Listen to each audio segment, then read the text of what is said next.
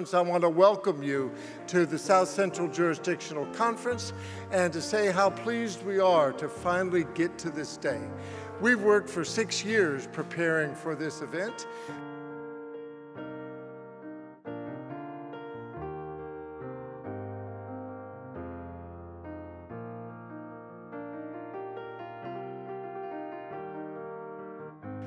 So I think we're ready to go ahead and let you uh, begin with ballot number one. Friends, we have the results of ballot number one, and there are three elections.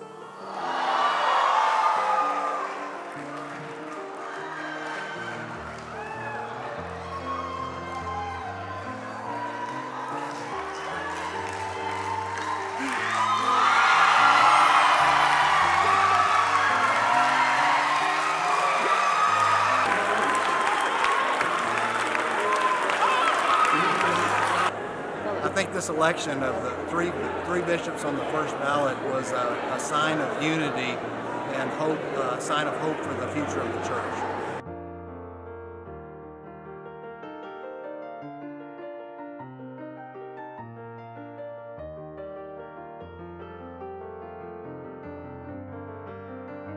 More than two bishops being elected on one ballot has only happened twice before yesterday.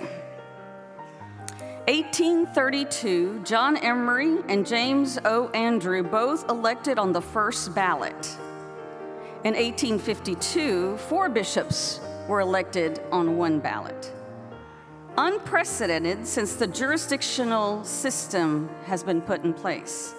These above votes were made, remember, bishops used to be elected at General Conference. So if I'm interpreting her text correctly, yesterday is the first time in all of United Methodist history that all the bishops were elected in one ballot and in the first ballot. The area of Central Texas and North Texas, Bishop Ruben Saenz.